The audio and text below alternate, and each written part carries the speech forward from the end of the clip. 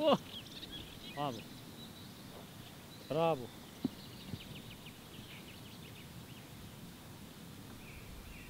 C'est le con qui drop, c'est moi.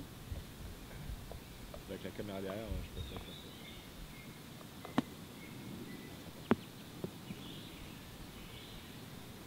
Ah, Donc on est dans une situation petit jeu, on est dans, un, dans une herbe qui est un petit peu complexe, hein, ce qu'on appelle le rough. Euh, je vais vous montrer deux types de façons de jouer ce coup. On se trouve à 14 mètres du drapeau, mais cela n'a aucune importance parce que ce qui nous intéresse c'est le point de chute. Donc à travers les deux options, vous allez voir laquelle vous convient le mieux. Il y en a une qui est un peu plus facile à produire qu'une autre. Donc la première chose à déterminer, c'est on va positionner la balle dans ce type de scénario. Dans, le cas numéro 1, je vais la positionner plus au centre de mon stance avec un poids, une pression qui va situer plutôt sur le côté gauche, 60 à 65%. La face de club, elle, va être assez neutre ou peut-être légèrement ouverte. Et je précise que j'ai un 58 degrés dans les mains. Donc pour cette option, favorisez vraiment un club qui est assez ouvert, le club où vous avez le plus de loft dans votre sac. À partir de là, une fois que j'ai bien positionné ma pression sur la jambe gauche et la balle au centre, et que ma face de club est légèrement ouverte, je vais juste produire un bon mouvement de balancier avec mes épaules, donc aucune action des poignets pour cette première option. Et je vais vraiment me concentrer sur le contact de balle. Donc c'est-à-dire que je vais, dans la descente, frapper avec un angle d'attaque un peu plus en descendant, Michel. C'est normal, tu t'es mis à gauche, donc euh, c'est normal. Donc, situation à gauche, épaule, épaule. Parfait. Ça là est très jolie. Elle a pitché début green, c'est exactement ce que je voulais. Donc euh, à peu près 4 à 5 mètres de roule pour aller jusqu'au drapeau. Bravo. Très, très belle approche.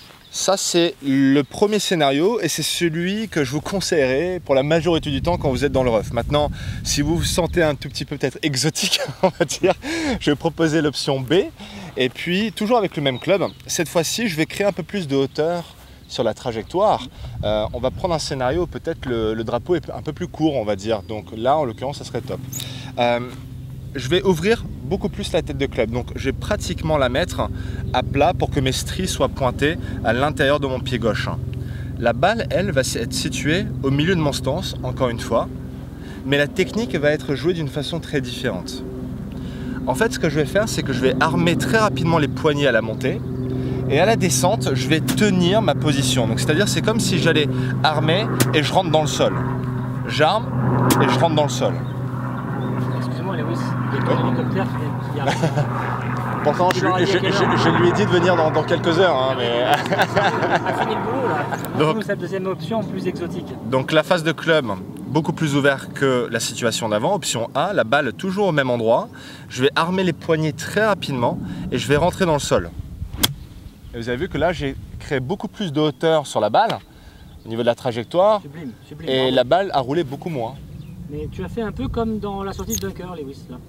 Un peu. Alors, au niveau de l'ouverture de la phase de club. Au niveau de ton passage de la main droite, pour moi, j'ai hmm. l'impression que tu étais encore dans le bunker. Oui, euh, on va dire la chose qui va varier, c'est-à-dire qu'au bunker, je vais quand même traverser, je vais continuer, alors que là, dans, dans cette situation, j'ai vraiment envie que les personnes comprennent qu'il faut armer et ensuite s'arrêter. Ce que Phil Mickelson appelle le hinge and hold. Donc c'est-à-dire qu'on arme et on tient. On arme et on tient. Donc on va, on va vraiment avoir cette dynamique d'aller chercher le sol avec cette phase de club ouverte. Bien, quelle belle démonstration. Bravo, félicitations. Alors, euh, pour ma part ici, bien évidemment, comme l'a dit Lewis, ici nous sommes dans un rough assez dense. Euh, ça veut dire qu'on peut très bien arriver et être laillé de trois manières. Soit on est normal à peu près, mais avec du, on va dire, euh, de l'incertitude quant au sens de l'herbe qui est en dessous de la balle, soit on est euh, en suspension au-dessus de, l'herbe, donc dans ces cas-là, euh, très peu d'action du bas du corps, les poignets bloqués, je reprends l'option de, Lewis, soit quand même, la plupart du temps, nous arrivons ici, nous sommes mal laillés malheureusement dans ces refs assez denses, donc si je drop ma balle, voilà, je la drop, et là je suis très légèrement enfoncé. Donc là, je sais que l'herbe va me donner une résistance.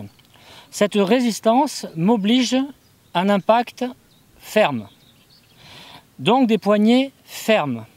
Reste à choisir comment j'attaque le sol.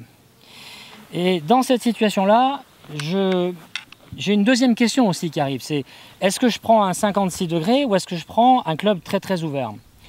Euh, si je fais une décélération après impact, une sorte d'arrêt court comme tu as fait, j'aime bien cette situation. Dans ces cas-là, le, 56 peut être, euh, être le bon club. En revanche, si je fais un swing plus complet, plus plein, comme une approche euh, type approche lobée, là je vais prendre un 58 degrés. Voilà, mais je ne me suis pas du tout euh, préparé à cette situation, donc je vais la vivre. Ah bah, hein. Je vais la vivre pleinement. Donc je vais faire l'option qui me permettra, on va dire, de me mettre au green mais sans forcément avoir la certitude d'être très précis. En tout cas, je vais sortir du problème. Donc je prends... Est-ce qu'on peut préciser, Michel, parce que tu viens de souligner un, point très important que je n'ai pas évoqué, c'est la priorité quand vous êtes dans cette situation, c'est de mettre la balle sur le green. Trop souvent, on voit des amateurs qui essayent de trop bien faire et qui, en général, ça va finir avec une gratte et la balle va finir quelque part ici. Ça, c'est le, pire scénario que vous pouvez envisager. C'est vraiment ça. C'est pour ça que cette option de plein et pas mauvaise parce qu'au moins on sort du problème. Donc là je me mets en situation, je dirais d'approche lobée. D'approche lobée, je vais armer et faire un... Où, est ton, de la pression Est-ce qu'elle est plus sur le côté gauche Là je suis, je suis 50-50, là je suis 50-50 et je fais le swing complet, voilà. Ah, type, type, approche lobée, voilà, j'ai... Ah, voilà, je suis, je suis sorti du problème, on va dire. Ouais j'ai sorti du problème. Après, avec de l'entraînement, je peux encore euh, évidemment perfectionner. Maintenant, je prends le 56 degrés et je rentre dans le finish court. C'est-à-dire, ce coup-ci, je fais euh, le, finish plutôt euh, volontairement arrêté, l'arrêt court. Donc je redrop. Là, je suis vraiment enfoncé. je mets la balle à droite, donc dès que je suis enfoncé, et je me dis verticalité. Donc la verticalité, toi, tu l'as fait avec poids du corps à gauche elle s'est faite tout seul sans armement. Moi, je la fais sans poids du corps à gauche, mais avec l'armement. C'est un autre moyen de faire la verticalité. La face est ouverte de 5 degrés, donc ça veut dire que j'ai fait à peine euh, ça. C'est tout, pas plus. Je vais actionner mes poignets et je vais faire cet arrêt court. Et je précise, l'arrêt court se fait avec une rotation vers la cible. Je ne fais pas un arrêt court simplement en tirant mes bras.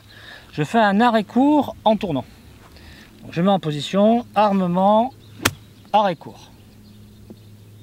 Et donc là, j'ai obtenu plus de précision. Est-ce qu'au niveau du risque... Prenez les deux. ouais, c'est ce que j'allais dire. Mais euh, lequel tu conseillerais finalement Parce que là, on a proposé presque quatre façons différentes de faire la chose. Tant mieux. Euh, moi, ce que je vous conseille, c'est d'essayer les quatre et de voir laquelle vous convient le mieux. Mm. Mais quelle est celle où tu conseillerais qui a le moins de risque, on va dire? Parce que là, euh, c'est ça qui est important, c'est qu'on arrive sur le parcours, on ne veut pas perdre un point bêtement en faisant une gratte.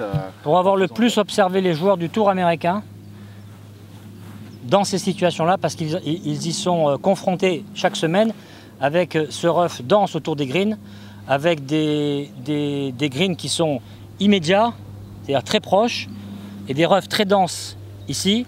J'ai observé deux, deux configurations de, de, de, techniques. Le plus souvent, un peu éloigné du green, c'est les arrêts courts. D'accord, donc. C'est ça, c'est les arrêts courts très Avec un armement de poignet. Ah, avec un armement de poignet, mais c'est surtout arrêt court. Parce qu'en gros, quand on fait verticalité et arrêt court, la verticalité nous fait déloger la balle et l'arrêt court nous enlève la propulsion. Moi, c'est aussi celle que je et, et, après, le, quand ils sont plus près, là, ils se mettent de biais. Ils se mettent de biais pour garder la vitesse, mais sans aller loin. Donc en, se mettant de biais, on coupe encore la propulsion, mais on maintient la vitesse. Ce qui permet de, faire une balle quasiment amortie. C'est ce que j'aurais fait moi pour un drapeau plus court. J'aurais fait ouverture du corps, face de club vers la cible, grip faible, et là je passe de biais. Voilà ce que j'aurais fait si le green avait, le drapeau avait été court. Euh, voilà. on va dire que déjà on est très content avec les 3 balles sur 4 qu'on a effectuées. Là tout va bien. Là, euh, là on va dire qu'on est pratiquement à donner, donc euh, même pas besoin de poter Michel.